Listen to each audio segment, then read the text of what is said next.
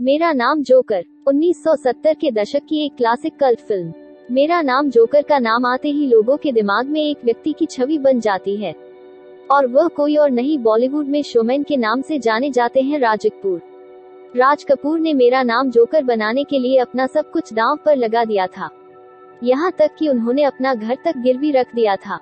उन्हें इस फ़िल्म से काफ़ी उम्मीदें थी, लेकिन फ़िल्म जब रिलीज़ हुई, तब उस समय के दर्शकों ने इस फ़िल्म को पूरी तरह से नकार दिया। इसके बाद राज कपूर काफ़ी कर्ज में डूब गए।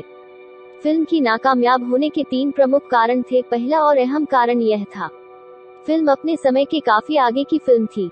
दूसरा, इस फ़िल्म में कई ऐसे बोल्ड सीन थे जिसकी वजह से फ़िल्म रिलीज़ होने में देरी हुई। तीसरा कारण इस फ़िल्म को बनने में करीब छह साल लगे थे और बोल्ड सीन की वजह से कानूनी अड़चनों का सामना करना पड़ा। फ़िल्म में पद्मिनी ने खुलकर अपने बूब्स को दिखाया। वही सिमी ग्रेवाल ने भी न्यूड सीन देकर रातों रात शोहरत कमाई।